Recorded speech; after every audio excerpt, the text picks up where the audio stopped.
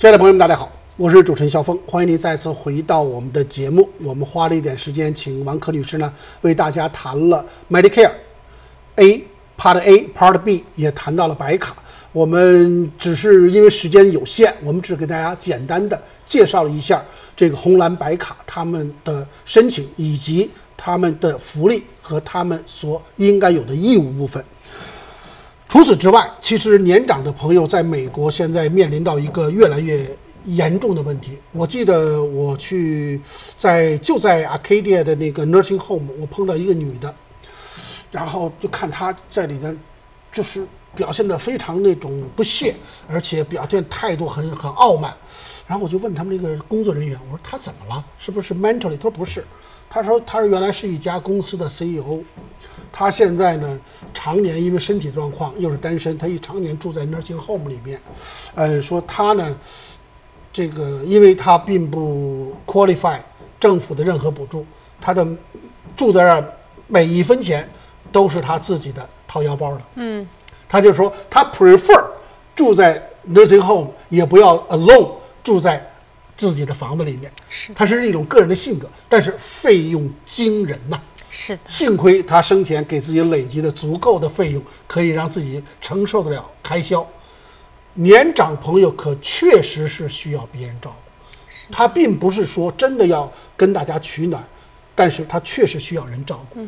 所以，随着美国在过去十也就十几年的时间吧，有了很多很多的长期照顾的一些各种各样的保险，帮我们介绍一下。好。那说到长期护理，我觉得我们要先 define，先解释一下什么是长期护理。那长期护理简单的来说呢，就是在美国长期护理保险协会，他们有一个定义，就说如果您作为呃单身自己能够自理的情况下，一个一般人是有六种基本的职能的 activity activities of daily living，那其中包括吃饭、穿衣、沐浴。上厕所、行动和失禁，就是呃大小便失禁。当这个其中有两个你不能做的时候，您就被定义为需要长期照顾。对，那通常这个情况呢是要持续九十天以上。啊，就是连续九十天以上，一直都是持续两个 out of 这个六个你做不了的时候，才是属于长期照顾的。那也有短期的，比如说车祸，可能他是短时间不能自己洗澡穿衣，但是长期来说还是可以的。那所以这就是所谓的长期护理。也就是说，这些人就 qualify 可以享受到，如果你买有。这种长期护理的保险的话，你就可以享受它的福利了。是的，那说到长期护理呢，我们讲说，如果真的发生这样的情况，我们有怎么样要怎么样？不是真的会发生，是肯定会发生。好，就是说，如果某一个人发现 年长的朋友是肯定会发生的。对，发现这个有长期护理的需求，他有四个地方可以去。OK，有四个解决办法。第一个呢，就是住到私人的疗养院，也就是我们讲的 nursing home，最贵最贵的那是最昂贵的地方。那条件有的是很好哎。哎，我我看过我们洛杉矶非常好的这个这个 nursing home，非常好，非常好，非常好。但是价格非常的昂贵吧？对对。另外呢，就叫做 assisted living facility，辅助生活中心。这种地方呢，就是说可能两三个人 share 一个房间，但是呢，呃，如果需要按铃的话，会有护士随时来看顾你。那这个稍微费用的话会少一点，比 nursing home 少一点。那再来呢，就是成人日呃日间保护中心，叫 adult daycare。这种地方呢，基本上就是晚上还是在家，但是白天呢，因为小孩子家里的人家里没人了，对，去做事儿了，他自己又不能自己一个人。这是政府提供的。也有也有私人的，也有私人的，对，可以付钱去。最后一个呢，就是最便宜的方法，就是请人来家里照顾您。那这个人可能是有执照的，有护理执照的，也可能就是嗯随随便便请个朋友呃来照顾你而已。那所以这个一般是我们有四个去处。当你生活不能自理的时候，我觉得大家其实关心的是，大家并不关心这四个去处，大家关心这四个去处的费用谁来付。对，是是是。那我们现在来聊一聊费用。如果是住 nursing home。呃，私人疗养院在洛杉矶县和 Orange County，二零一六年出来的数据是 MetLife 大都会保险公司 published 的，是八万到十万之间一年，一年，这是税后的收入。也就是说，如果您的税率要，就是说满满，就是按照正常税率来讲的话，您要挣到十二万，打完税 有八万九万块的时候，可以来支付这样的费用。那基本上，如果是辅助中心 assisted living，大概是五万到六万，稍微要便宜一点。再来就是成人日托，呃，日间这个保护中心是两万到三万。还有就是说，我们如果一天请人来家里照顾我们，就说呃，如果是按照四个小时，一个月收费一千八百块的话呢，那一年下来也就是将近两万多三万块。嗯，对，所以这个是费用来说大概是这样子。不过多数的人呢，包括美国的老人家，他们都选择住在家里，因为成本低。第二呢，对于他们来说，对呃家人的陪伴是很重要的。但是有一个非常重要的事情要告诉大家的呢，就是这些费用的增长，这个呃就是像通货膨胀一样哈它是每年是六到八个 percent。这么高啊！这么高是这么高，对它远远超过美金。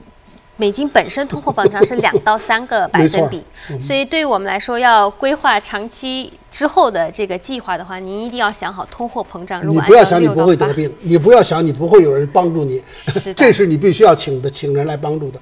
如果这些，既然我们已经知道我们未来，不管你今年是四十岁、五十岁还是六十岁，嗯你知道你未来将来到你七十岁、八十岁的时候，你一定需要这种照顾的时候，我有没有一个办法说，我现在我就给自己未雨绸缪，嗯买一个东西或者准备一个什么？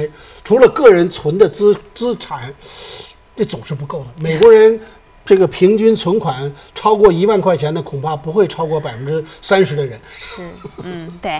那如果为了解决这个问题，未雨绸缪，华人做的最棒的一件事情嗯就是这个。那您有两个选择，一个呢就是直接去购买长期护理对应的保险，那对应的这种保险你说的是 long term care，long-term care policy，对长期护理保险这种保险呢，基本上是只能用于长期照顾。对就是说，如果今天您虽然预备了这个账户，是用来以后每一个天，比如说能够拿两百块，呃，来照顾您，当你发生长期护理好像还有一个每年最高额只有三十万还是几十万的一个对对最高额。，如果是这样子的保险的话呢，它有一个缺点，就是如果人突然间过世，没有用到长期护理的，其他人用不到，对，那这个就是消费掉了，就就保险公司赚就是钱了。你就算给保险公司做贡献了。对，是。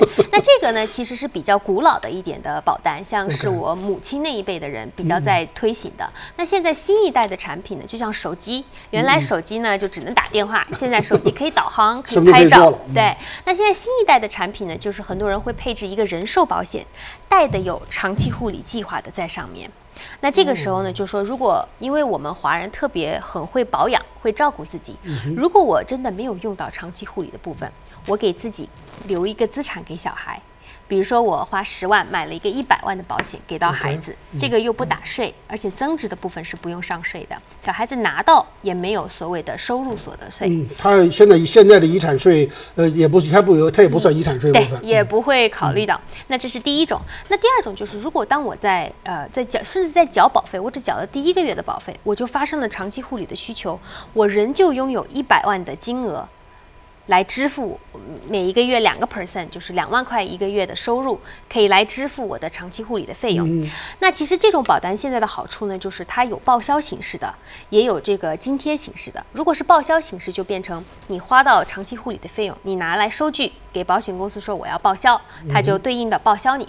还有一种保险呢，就是说哦，它是津贴形式，你只要符合这两个呃不能自理的生活情况了，那我就给你两万块一个月，两个 person 一个月的保呃这个津贴，你可以自己去做任何事情。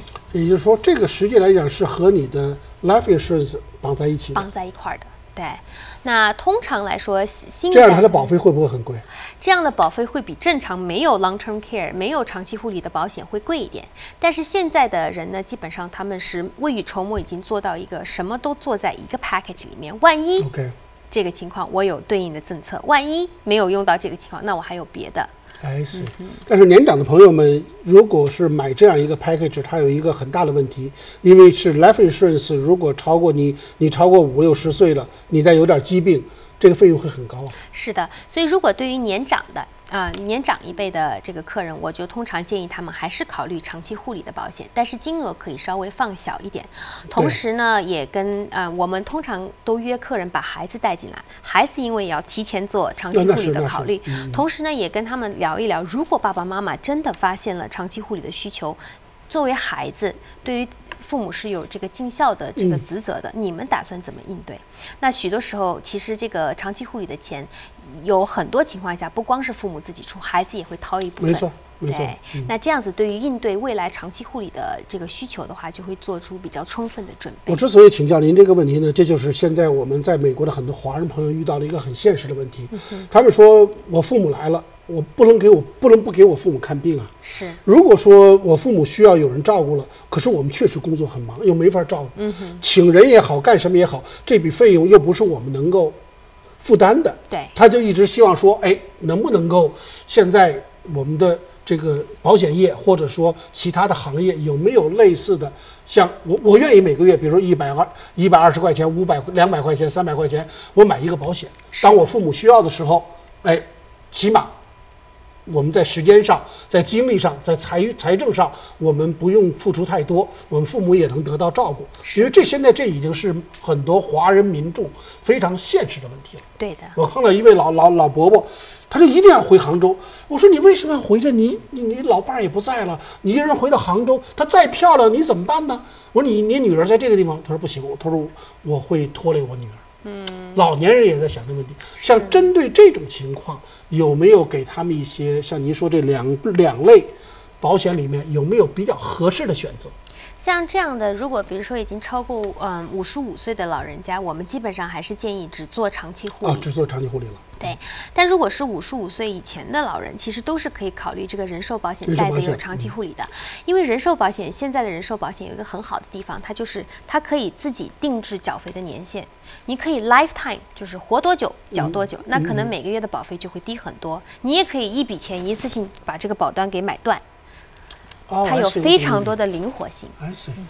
也就是说，现在的保险公司也越来越灵活了。是的，也当然了，呃，保险公司的问问题呢，呃，我相信保险公司的问题，可能我们很多听众、观众朋友，大家比我呢更有一些呃了解。原因是在于说，大家当你进入美国之后，美国就是一个保险。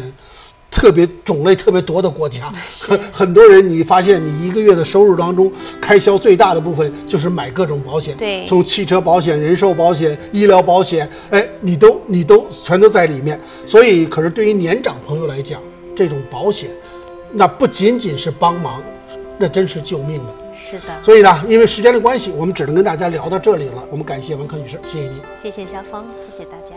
谢谢大家，祝我们老年朋友们身体健康，也希望大家未雨绸缪。再见。